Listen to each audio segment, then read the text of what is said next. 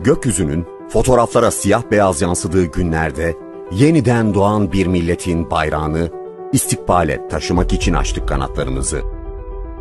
Öyle güzel bir ülkeydi ki üzerinde yükseldiğimiz, o günlerde dahi dört bir yanına uçmaktı en değerli hayalimiz. Yere her inişimizde yeniden daha yüksek, daha güçlü uçmayı hedefleyerek açtık yılları. 25, 55, 75 derken 87 yıl ardımızda kalıyor bugün.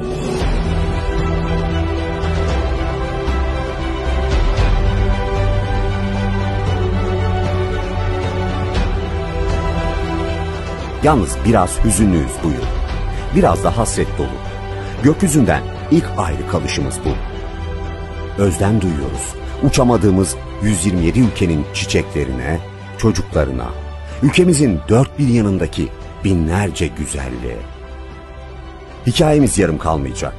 Bu topraklarda tarih boyunca yaşadığımız en zorlu zamanlarda olduğu gibi geri döndüğümüzde çok daha güçlü olacağız. 87 yıllık dev bir aile olarak milletimizin gururu olmaya devam edeceğiz. Kanatlarımızı yeniden açmak ve ay yıldızlı bayrağımızı dünyanın dört bir yanında dalgalandırmak için gün sayıyoruz.